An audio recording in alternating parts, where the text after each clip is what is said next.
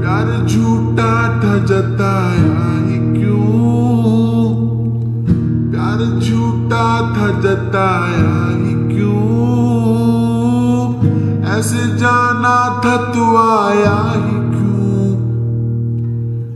ऐसे जाना था, तू आया ही